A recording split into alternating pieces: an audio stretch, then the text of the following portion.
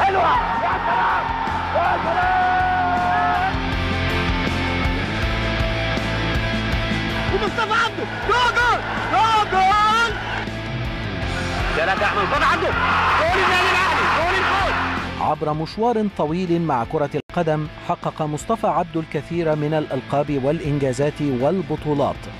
ومع الأهلي اكتسب المجري جماهيرية عريضة وضعته ضمن القائمة الذهبية لأساطير اللعبة في مصر عبر كل العصور.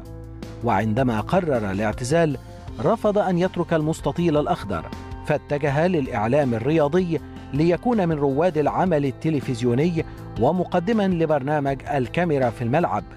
ذلك البرنامج الشهير الذي التفت حوله الأسرة المصرية وجمهور الكرة في شتى بقاع مصر.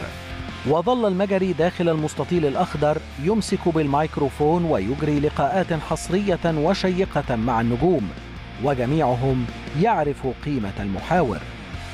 مرت السنوات وأصبح المجري واحدا من رواد الاستوديوهات التحليلية لمباريات الكرة وصنع مجدا كبيرا في البرامج الرياضية التي تناقش الكثير من القضايا والملفات والأزمات ويحتفل أيضا بالانتصارات والبطولات. الأهلي بالنسبة للمجري حياته كلها عمره كله أحلى ذكرياته مع نجومه. تميز بالروح الطيبة والأخلاق العالية وخفة الظل. تجارب كثيرة في الإعلام الرياضي خاضها المجري. لكن المرة دي الموضوع مختلف.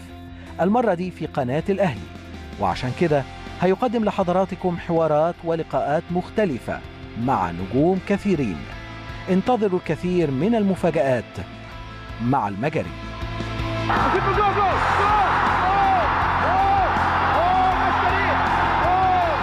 مصطفى عبده يجيب الثالث بقى يجيب الثالث يجيب الثالث هو هو الثالث علاء أحمد رجب ثلاثة أحمد مصطفى عبده